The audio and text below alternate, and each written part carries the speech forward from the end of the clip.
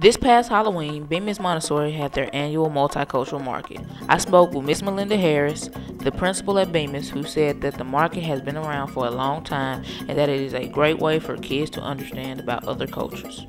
Yes, we've been doing the market for about 15 years now. We started uh, wanting to make sure that the students were understanding the different cultures from around the world, and we actually do it every year on October the 31st because that helps us stay away from the Halloween traditions and still allow children to dress up and study their culture. So they spend the entire month of October, they choose a culture or a, or a country, and they do the research, the student work, and then this is the day they're able to present their work to their families.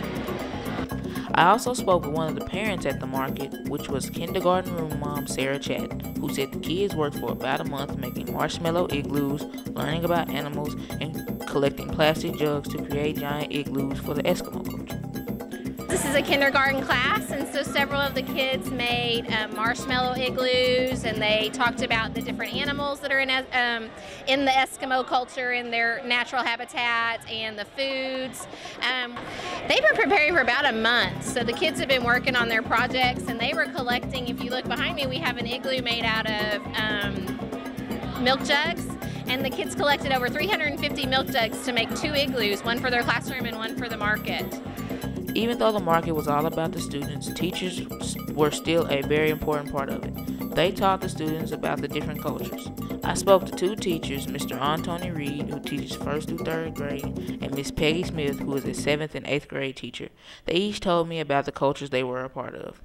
Our class did the Bedouin culture, and it's right here. So it's a nomadic culture, and so they move from place to place, or there's some that just kind of stay in one area.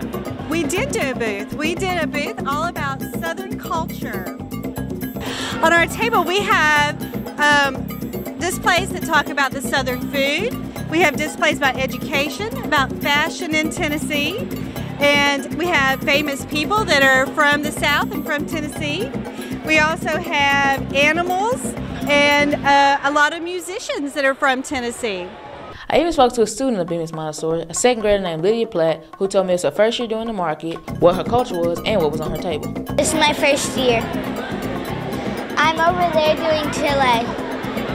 Um, posters and rain sticks.